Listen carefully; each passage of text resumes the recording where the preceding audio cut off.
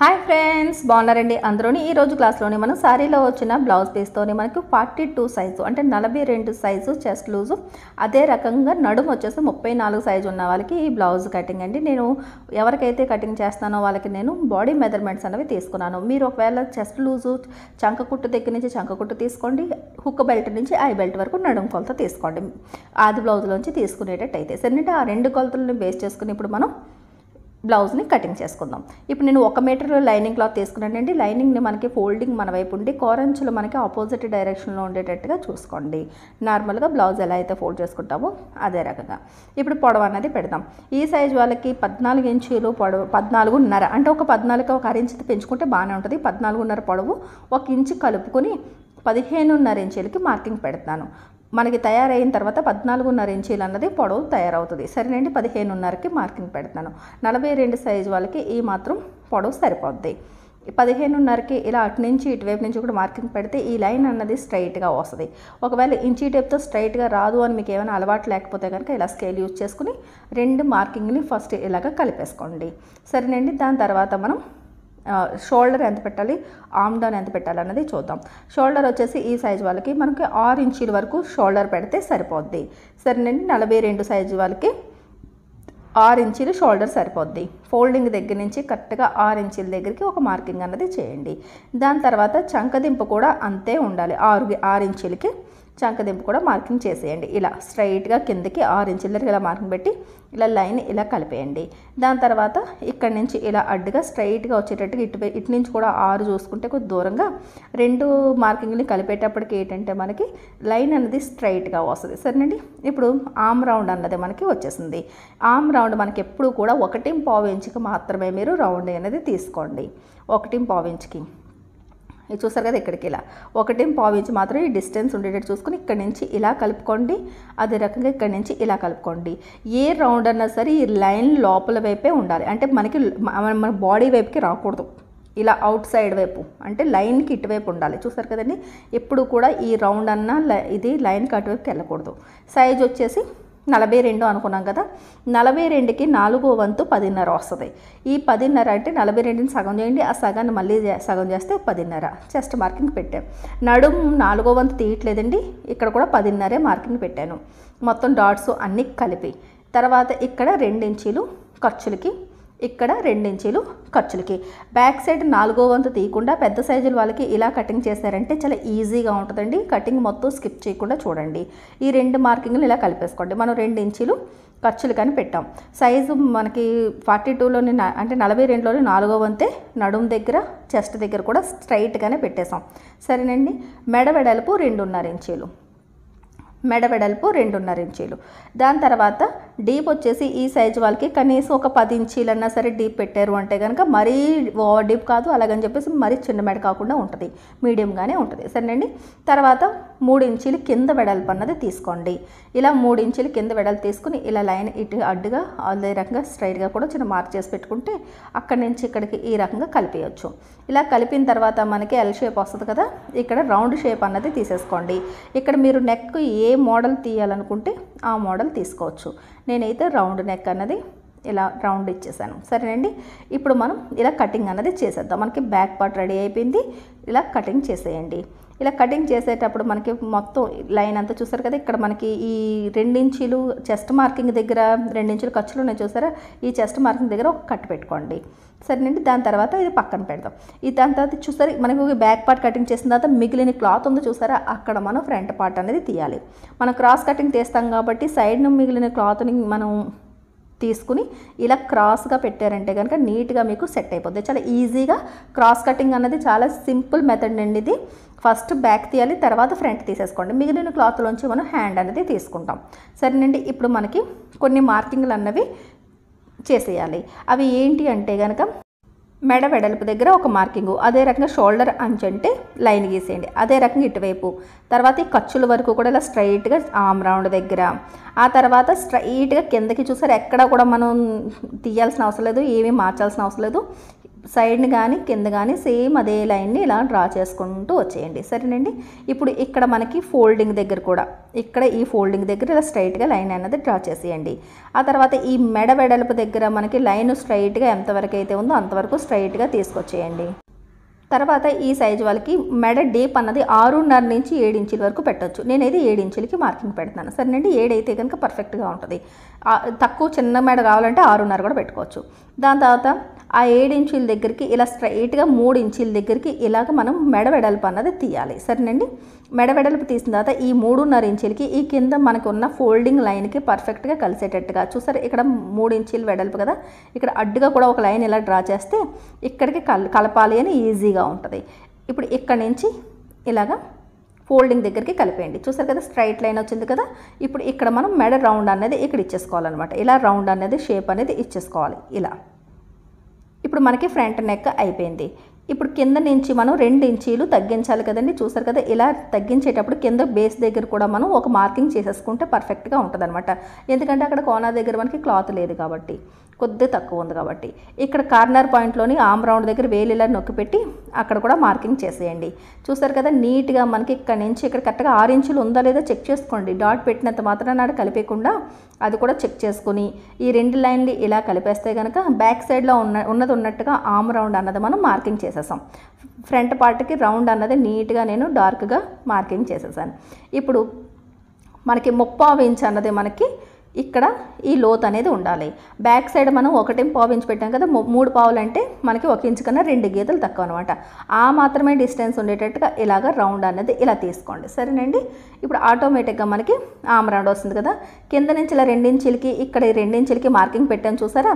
కింద కార్నర్లో మనకి క్లాత్ తగ్గినా సరే ఆ రెండించులు ముందే పెట్టేయడం వల్ల మనకి ఈజీగా ఇలా లైన్ అన్నది ఇలా డ్రా చేసేసుకోవచ్చు. సరేనండి ఇలా డ్రా చేస్తాం కదా. డ్రా చేసిన తర్వాత ఇప్పుడు మనం బ్యాక్ పార్ట్లోని నడుములో నాలుగో వంతు అన్నది మనం తీయలేదు. కాబట్టి మనకి ఇక్కడ ఫుల్ లెంత్ అన్నది మనకి నడుము దగ్గర ఉంది.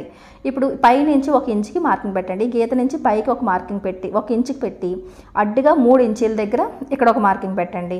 ఆ మూడు ఇంచుల దగ్గర చేసి ఒక అరేంజ్ అనేది ఇలాగ డౌన్ చేయండి. హెవీ బ్రెస్ట్ ఉన్న వాళ్ళైతే ఒక్క అరేంజ్ ఇంకా కిందకి తీసుకున్నా పర్లేదు. లేదనుకుంటే అవసరం లేదు. తర్వాత ఇక్కడ నుంచి రెండు ఇంచులు ఖర్చులు ఉంది కదా ఖర్చులు కూడా మార్కింగ్ చేసి ఖర్చుల లైన్ మాత్రం స్ట్రైట్గా ఉండేటట్టుగా సపరేట్గా మనం లైన్ కంపల్సరీగా డ్రా చేసుకోవాలి. ఇప్పుడు ఇక్కడ నుంచి కార్నర్ కలిపి ఇక్కడ మళ్ళీ అరేంజ్ అన్నది పైకి తీసుకురావాలి. చూడండి ఈ ఒక ఇంచ్ దగ్గర నుంచి ఈ అరేంజ్ కలిపామా? ఇక్కడ నుంచి ఈ ఫిట్టింగ్ లైన్ దగ్గరికి కార్నర్కి వచ్చింది తర్వాత లాస్ట్ లైన్ దగ్గరకు ఒక అరేంజ్ పైకి లేచింది. చూస్తున్నారా? ఈ రకమైన షేప్ ఇచ్చుకున్నారంటే కనుక మీరు పర్ఫెక్ట్గా మీకు షేప్ అన్నది వచ్చేస్తుంది. సరేనండి? ఈ రకంగా షేప్ ఇచ్చుకున్న తర్వాత ఇప్పుడు మనకి నడుము అన్నది సరిపోయిందా లేదా అన్నది చూసుకోవాలి. ఇప్పుడు నడుములో నాలుగో వంతు తీసుకోవాలి. ఇప్పుడు నడుము మనకి ముప్పై నాలుగు ఇంచీలు. ముప్పై నాలుగు ఇంచీల నడుముకి నాలుగో వంతు ఎనిమిదిన్నర ఇంచీలు వస్తుంది. ఎనిమిదిన్నర ఇక్కడ నేను రాస్తున్నాను చూడండి. ఎనిమిదిన్నరకి ఇప్పుడు మెయిన్ డాట్ మీరు ఎంత వేసుకుంటారు? నేను ఇక్కడ హుక్కుల దగ్గర నుంచి మూడు ఇంచీల దగ్గర ఒక మార్కింగ్ పెట్టాను. తర్వాత ఇంకొక మూడు ఇంచీలకి ఒక మార్కింగ్ పెట్టండి. ఈ సైజు వాళ్ళకి మూడు ఇంచులు వెడల్పుని మెయిన్ డాట్ అనేది వేస్తేనే ఫిట్ అవుతుంది. ఇది మూడు ఇంచీలు అనమాట ఇప్పుడు ఈ మూడు ఇంచీలు ఈ ఎనిమిదిన్నరకి కలపాలి. ఇది ఎందుకంటే స్టిచ్చింగ్ చేసినప్పుడు అది మనకి వేస్ట్గా క్లాత్ అనేది పోద్ది. అప్పుడు ఎంత అయింది? పదకొండున్నర ఇంచీలు అయింది. ఇప్పుడు ఇక్కడ నుంచి ఫిట్టింగ్ వరకు మాత్రమే పదకొండు ఇంచీలు ఉండాలి. చూడండి ఇలా చూసుకుంటే కనుక నీట్గా మీకు పదకొండు ఇంచీలు అన్నది వచ్చేస్తాయి. చూసారా? ఎంత పెద్ద సైజులు అన్నా సరే పదకొండు పావు ఇంచీలు వచ్చింది. ఇంకా పావు ఇంచు మనకి ఎక్కువే ఉంది కానీ తక్కువ లేదు. మిగతా ఈ రెండు ఇంచీలు ఖర్చులు ఉండిపోయింది. ఇలా వేరియేషన్ అనేది చూసి ఒకవేళ తక్కువైంది అనుకోండి మీ దగ్గర మీరు పెట్టే డౌట్కి తక్కువైంది అనుకోండి అప్పుడు ఇలా కలపండి. ఎంత తక్కువైందో కలిపి ఇక్కడి నుంచి ఇలాగా కలిపేసుకోండి. అంటే పెంచాలన్నమాట. మీకు ఒకవేళ తక్కువైతేనే. నేను చెప్పిన విధంగా కటింగ్ చేస్తే కనుక తగ్గదండి. బ్యాక్ పార్ట్లో మరి నడుంకి నాలుగో వంతు తీయలేదు కదా అని మీకు ఏమన్నా ప్రాబ్లం రావచ్చు అంటే డౌట్ రావచ్చు. అది మనం ఫిట్టింగ్ చేసేటప్పుడు ఈ ముప్పై నాలుగు ఇంచులకి కొలిచి మాత్రమే మనం ఫిట్టింగ్ చేస్తాం. ఇప్పుడు ఈ ఫ్రంట్ పార్ట్ని ఇలా కటింగ్ చేసేయండి సరేనండి? మీరు స్టిచ్చింగ్ క్లాస్ కూడా మీది ఈ బ్లౌజ్కి వెంటనే నేను స్టిచ్చింగ్ కూడా అప్లోడ్ చేస్తానండి. తప్పకుండా చూడండి మీకు అర్థమవుతుంది. ఫ్రంట్ పార్ట్ కటింగ్ చేసేసిన తర్వాత షోల్డర్ రెండు కూడా కలిసేటట్టుగా ఇలా పెట్టుకుంటే మీకు చూసారా? వేరియేషన్ అనేది ఎంత అందంగా కనిపిస్తుందో. ఇప్పుడు ఫ్రంట్ పార్ట్ కింద అంచును చూసారా? హుక్కుల దగ్గర ఈ అంచు దగ్గర నుంచి పైకి ఒక అరేంజ్ మాత్రమే ఒక మార్కింగ్ చేయండి. అదే రకంగా ఫిట్టింగ్ వైపు కూడా ఒక అరేంజ్ పైకి మార్కింగ్ చేయండి. ఎందుకు అంటే కనుక అది మనకి షేప్ బెల్ట్లు స్టిచ్చింగ్కి ఖర్చులకి కావాలి. సరేనండి? ఇప్పుడు నడుములో నాలుగో వంతు బ్యాక్ పార్ట్ తీయలేదు కాబట్టి ఇప్పుడు చూద్దాం. ఎనిమిదిన్నర ఇంచీలు మనకి నాలుగో వంతు అయితే కనుక నడుముకి దానికి రెండు ఇంచులు ఖర్చులు కలిపితే తొమ్మిదిన్నర పదిన్నర వస్తుంది. ఒక పదకొండు ఇంచులు ఆరు ఇంచు కలుపుకున్నా సరే మనం ఈ షేప్ బెల్ట్ వెడల్పు అన్న తీసుకుంటే సరిపోద్ది. ఇప్పుడు కటింగ్ చేసిన వెడల్పు తీసేస్తే ఎక్కువైపోద్ది. కాబట్టి నడుముకి నాలుగో వంతుకి రెండు ఇంచులు కలుపుకొని షేప్ బెల్ట్ వెడల్పు అన్నది తీసుకోండి. ఇప్పుడు మనకి ఈ అరెంజ్ దగ్గర నుంచి చక్కగా ఇలా కొలుచుకుంటే కనుక పావు తక్కువ నాలుగు ఇంచీలు వచ్చింది. అంటే త్రీ పాయింట్ సెవెన్ అని రాసుకున్నా. ఇప్పుడు ఈ ఆరెంజ్ దగ్గర నుంచి కొలిస్తే నాకు మూడు ఇంచీలు వచ్చింది. ఇక్కడ మూడు ఇంచీలు అని రాయండి. అంటే ఈ రెండింటికి ముప్పై ఇంచు డిఫరెంట్ ఉంది. నేను షేప్ బెల్ట్ వెడల్పు అన్నది పదకొండు ఇంచులు తీసేసుకుంటున్నాను. సరేనండి? ఇప్పుడు మనకి క్లాత్ అనేది సైడ్ని ఇలాగా మిగులుతుంది. మిగిలిన క్లాత్ అనేది పదకొండు ఇంచీలు వెడల్పు ఉందా లేదా చూసుకోండి. అంటే బ్యాక్ పార్ట్ కటింగ్ చేయగా సైడ్ని క్లాత్ మిగులుతుంది. ఈ క్లాత్లోంచి మనం షేప్ బెల్ట్ని తీయాలి. ఇప్పుడు పావు తక్కువ నాలుగు ఇంచీలు అన్నది చూసారు కదా? నాలుగు ఇంచులకి రెండు గీతలు తక్కువ అనమాట ఇటువైపు నుంచి మన వైపు ఫస్ట్ హుక్కులు మార్కింగ్ పెట్టాలి. దాని తర్వాత ఇటువైపు ఈ లైన్ వైపు మూడు ఇంచీలు మార్కింగ్ పెట్టాలి. ఇప్పుడు ఈ పావు తక్కువ నాలుగు ఇంచీల దగ్గర నుంచి కొద్దిగా కిందకి వెళ్ళి డౌన్కి నెమ్మదిగా ఇందులోకి ఇలాగ కలిపేసుకోవాలి. అంతే. ఆటోమేటిక్గా మనకి షేప్ అన్నది వచ్చేస్తుందండి. ఎక్కువగా డౌన్ అతిగా చేయొద్దు. కొద్దిగా ఈ మాత్రం డౌన్ చేస్తే సరిపోద్ది. సరేనండి? ఈ రకంగా షేప్ బెల్ట్లు తీసుకోవాలి. బ్లౌజ్ అంతా కటింగ్ చేసిన తర్వాత క్లాత్ మిగిలితే కనుక ఇంకొక రెండు పీసులు అన్నది మనం తర్వాత తీసుకుందాం. ఇప్పుడు మనకి ఇలా బ్యాక్ పార్ట్ ఆమ్ రౌండ్ ఎంత ఉందన్నది కొలుచుకోండి. బ్యాక్ సైడ్ చేతి చంక రౌండ్ అంతా ఎంత ఉందన్నది ఇలా కొలుచుకుంటే కనుక ఇంచీ టేప్తోని పదకొండున్నర ఇంచీలు అన్నది వచ్చింది. మనకి ఒక ఇంచు తగ్గిస్తే పదిన్నర. ఈ పదిన్నర అన్నది హ్యాండ్ వెడల్పు అన్నది ఉండాలన్నమాట ఫోల్డింగ్. ఈ ఫోల్డింగ్ని మళ్ళీ కోరంచుల వైపుకి ఇలా కలిపితే చూసారా పదిన్నరకి మనకి తక్కువ వస్తుంది. కాబట్టి ఈ ఫోల్డింగ్ అంచుల్ని ముందు వే భాగం వైపుకి ఇలాగ కొద్దిగా మార్చుకోవాలి. ఒకవేళ ఇలా ఫోల్డ్ చేసుకున్న తర్వాత మనకి హ్యాండ్ పొడవు సరిపోయినా ఇలా చే- ఇలా మనం ఫోల్డ్ చేసుకున్నా సరే మనకి రెండు హ్యాండ్స్ చక్కగా ఎటువంటి అతుకులు లేకుండా వస్తాయి. అలా రావాలి అంటే కనుక కనీసం ఒకటి పావు మీటర్ అన్న లైనింగ్ తీసుకోవాలి. మనకు సరిపోవట్లేదు కాబట్టి కోరంచులు ఇక్కడ కరెక్ట్గా లేవంటే అందుకని నేను కొద్దిగా కటింగ్ చేసి తీసేస్తాను ఒక్కొక్కసారి ఏంటంటే కోరంచులు అనేవి బాగా వెడల్పుగా వచ్చేస్తాయి. నేను ఇలా తీసేస్తాను తీసిన తర్వాత ఇప్పుడు ఈ ఫోల్డింగ్ని కొద్దిగా ముందు వైపు వైపుకి ఇలా జరిపి తీసుకుంటున్నాను. అంటే ఒక్కొక్క చేతికి ఒక్కొక్క వైపు మాత్రమే మనకి అతుకు వస్తుంది. చూస్తున్నారు కదా ఇలా ఇలా మనం మార్కింగ్ చేస్తే పదిన్నర ఇంచులు రావాలి. బ్యాక్ సైడ్ ఆమ్ రౌండ్ని కొలుచుకుని దానికి ఒక ఇంచు తగ్గించి ఎంత ఉంటే అంత ఈ ఫోల్డింగ్ వెడల్పు అన్నది ఉండాలి. అర్థమైంది కదండి? ఇప్పుడు మనం హ్యాండ్ పొడవు అన్నది చూద్దాం. నాకు హ్యాండ్ పొడవు ఐదు ఇంచులు కావాలి. ఒక ఇంచు ఖర్చులకి తీసుకున్నాం మీరు ఆది బ్లౌజ్లోంచి కానీ లేదనుకుంటే బాడీ మెజర్మెంట్స్ కానీ తీసుకోండి. మీకు పొడవు ఎంత అయితే ఉందో దానికి ఒక ఇంచ్ అన్నది పెంచుకోండి. సరేనండి? భుజం కుట్టు దగ్గర నుంచి చేతి కింద వరకు చూసుకుంటే పొడవు అన్నది వచ్చేస్తుంది.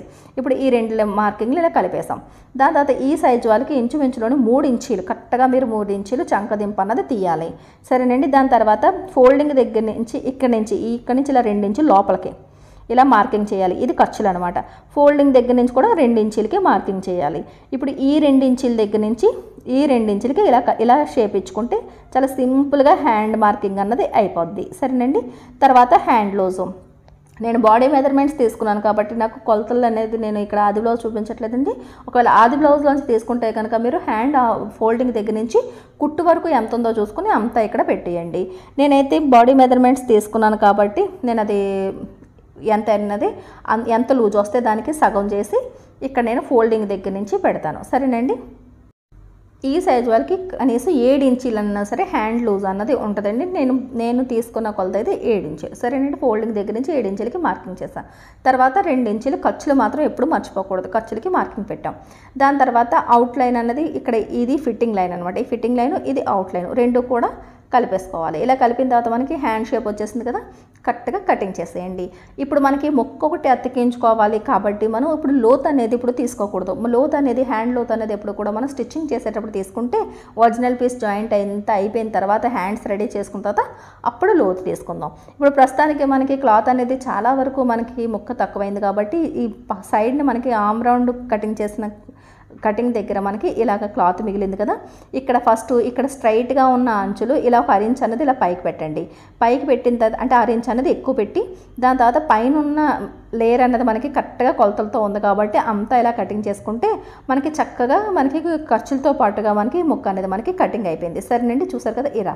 ఇప్పుడు హ్యాండ్ పక్కన పెట్టేద్దాం. ఇప్పుడు మనకి ఈ ఇంత లైనింగ్ అన్నది మనకి మిగిలింది. ఈ లైనింగ్ మిగిలిన దాంట్లో ఇక్కడ ఏం చేస్తారంటే చక్కగా షేప్ బెల్ట్ని ఇంకొకటి తీసేసుకోండి. ఒక్కొక్క వైపు రెండేమో లైనింగ్లు ఒకటి ఒరిజినల్. అంటే మూడు మూడు పీసులు ఉంటే కనుక కొద్దిగా దలసరగా ఉండి నీట్గా ఫినిషింగ్ అన్నది వస్తుంది. సరేనండి? ఒకవేళ లేదనుకోండి లేకపోయినా ఏం పర్లేదు. ఒక్కొక్క పీస్ కూడా వేసి మనం స్టిచ్చింగ్ అన్నది చేసేయవచ్చు సరేనండి? ఇప్పుడు ఇలా మనకి షేప్ బెల్ట్ అయిపోయిన తర్వాత మిగిలిన క్లాత్లోంచి మెడముకలు అవి తీసుకుంటాం. ఇప్పుడు ఒరిజినల్ పీస్ అన్నది ఇలా పెట్టుకున్నాం. ఇలా పెట్టిన తర్వాత ఇక్కడ చూసారు కదా ఇలా మనం బ్యాక్ పార్ట్కి చక్కగా ఇలా ఫోల్డింగ్ కరెక్ట్గా ఫోల్డింగ్ వైపు ఉండేటట్టు చూసుకుని ఇలా పెట్టి కటింగ్ చేసేయండి. ఫ్రంట్ వైపు మాత్రం ఇలా చూసుకోండి. క్లాత్ చూస్తున్నారు కదా ఒరిజినల్ పీస్ అన్నది చాలా వెడల్పు తక్కువ ఇచ్చారండి కానీ అయినా సరే మనం పెద్ద సైజ్ బ్లౌజ్ కాబట్టి నెమ్మదిగా అడ్జస్ట్మెంట్ అనేది చేసుకోవాలి. కరెక్ట్గా నాకు సరిపోయింది. ఇంకో కొద్దిగా పెద్దదైనా సరే నాకు చాలదనమాట ఎక్కడో దగ్గర అతుకులు పడాల్సి వచ్చును. అలా నేను ఇప్పుడు పెట్టినట్టుగానే కటింగ్ చేసేసాను. తర్వాత క్లాత్ అనేది ఇలా మిగిలింది. ఎప్పుడు శారీలో వచ్చిన బ్లౌజ్ పీస్కి మనకి శారీలో వచ్చిన బార్డర్ అనేది వస్తుంది. ఆ బార్డర్ని రిమూవ్ చేసేయండి ఇప్పేయండి. పెద్ద కుట్టే ఉంటుంది అది ఇప్పేయండి. దాని తర్వాత హ్యాండ్ అనేది ఇలా తీసి చూ చూడండి. చూసారు కదా ఇలా ఒక ఫోల్డ్ చేశాను. ఇలా ఫోల్డ్ చేసి మళ్ళీ ఇంకొక ఫోల్డ్ అనేది పైనుంచి కిందకి పెట్టాం. పెట్టినప్పుడు ఏమవుతుందంటే ఇక్కడ చక్కగాని అతుకులు లేకుండా రెండు హ్యాండ్స్ అనేవి వచ్చేస్తాయి. చూసారా? ఇలా. చక్కగానే. ఇలా మనకి ఫోల్డింగ్ వెడల్పు హ్యాండ్ వెడల్పు ఎంత ఉందో చూసుకోండి. దానికి ఇలా రివర్స్లో మళ్ళీ ఫోల్డ్ అంటే మనకి శారీ పన్నా ఎక్కువగా ఉంటుంది కాబట్టి బ్లౌజ్ పన్నా అన్నది ఎక్కువగానే వస్తుంది. కాబట్టి ఇలా కటింగ్ చేశారనుకోండి చిన్న చేతులు అయితే కనుక ఎంత పెద్ద సైజ్ అన్నా సరే మనకి ఎక్కడా కూడా అతుకులు అనేవి ఒరిజినల్ పీస్లోనే రాకుండా నీట్గా చాలా పని కూడా ఈజీగా అయిపోద్ది స్టిచ్చింగ్ చేసేటప్పుడు. సరేనండి ఒకవేళ క్లాత్ ఫుల్ లెంత్ ఎక్కువగా ఉన్నప్పుడు ఇలా చూసుకోండి. దాని తర్వాత కింద ఫోల్డింగ్ వస్తుంది కదా ఒరిజినల్ పీస్కి అది కటింగ్ చేసేస్తే చక్కగా రెండు హ్యాండ్స్ అనేవి మీకు అతుకులు లేకుండా రెడీ అయిపోయినాయి. ఇప్పుడు మిగిలిన క్లాత్లోని మనం ఈ సైడ్ మిగిలిన క్లాత్లోని చక్కగా మనకి షేప్ బెల్ట్ అనేది తీసేసుకోవాలి. చూసారు కదా ఇలా. మనం ఎంతైతే వెడల్పు ఉందో అంతే ఫోల్డ్ చేసుకున్నాం. మిగతా అది పక్కన వదిలేసాం కాబట్టి అది షేప్ బెల్ట్కి యూజ్ చేసింది. అదే మొత్తం అంతా ఫోల్డ్ చేసి కటింగ్ చేసేసారంటే షేప్ బెల్ట్కి తగ్గిపోద్ది. ఎక్కడ ఒరిజినల్ పీస్ అన్నది మనకి మిగలలేదు. కరెక్ట్గా సరిపోయింది. ఎక్కడ కూడా మనకి పెద్ద ఎక్కువగా క్లాత్ అనేది మిగలలేదు. సరేనండి. ఈ రకంగా మనం షేప్ బెల్ట్ని ఇప్పుడు చూసారు కదా ఇక్కడైతే మాత్రం సింగిల్ లేయర్ మీద ఒక్క షేప్ బెల్ట్ మాత్రమే కటింగ్ అవుతుంది. దాని తర్వాత ఇటువైపు చూస్తారు కదా ఇలా ఇక్కడైతే క్లాత్ ఏం మిగలేదు. సైడ్ని మనకి ఇటువైపు కటింగ్ అంతా అయిన తర్వాత ముక్కల్లోని ఇంకొక పీస్ ఇలా వచ్చింది. ఇక్కడ ఇంకొక పీస్ అన్నది తీస్తున్నాను. సరేనండి? ఈ రకంగా రెండు లై రెండు ఒరిజినల్ పీసులన్నీ తీసుకుంటున్నాం. ఇక్కడ చిన్నది అతుకు వస్తుందండి. ఈ అతుకు అనేది ఇక్కడ వేద్దాం. సరేనండి? బ్లౌజ్ పీస్ ఎప్పుడైనా సరే తక్కువగా ఇచ్చినప్పుడు ఇలాంటి ప్రాబ్లమ్స్ అనేవి వస్తాయి. మనం చిన్న షేప్ బెల్ట్లో మనం అతుకు వేసుకోవడం బెస్ట్ కానీ హ్యాండ్స్లో రెండు వైపుల అతుకులు అన్నది వేస్ట్ సరేనండి? ఈ రకంగా కటింగ్ చేసి రెడీ చేసి ఉంచుకోండి. స్టిచ్చింగ్ క్లాస్లోని మళ్ళీ కలుద్దాం. వీడియో నచ్చినట్లయితే కనుక తప్పకుండా ఒక లైక్ ఇవ్వండి.